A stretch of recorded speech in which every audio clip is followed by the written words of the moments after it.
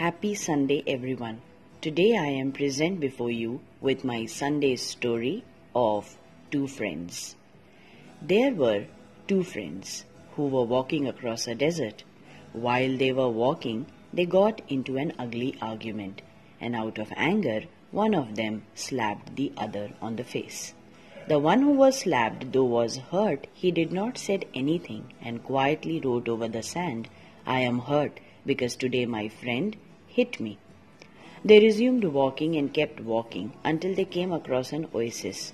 They decided to take bath in the oasis then. While they were taking bath, the one who had got slapped started drowning. The other friend came to his rescue and saved him. After he got rescued, he wrote on the stone, Today I was saved by my best friend. The other friend asked him, Why did you write on the sand when I slapped you, while you wrote on the stone when I saved you? Upon this, the other friend replied, That it's better we write on sand when your friend hurts you, as it will be gone with the wind, but write it on stone when your friend does something good to you, so that it could be engraved forever. Moral of the story your friend always sees the brighter side of you.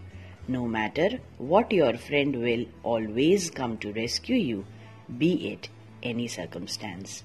I hope all of you enjoyed listening to this Sunday story. So, like, share, and subscribe to the channel, and don't forget to share this story with your friends. Here's wishing you a great day and see you next week.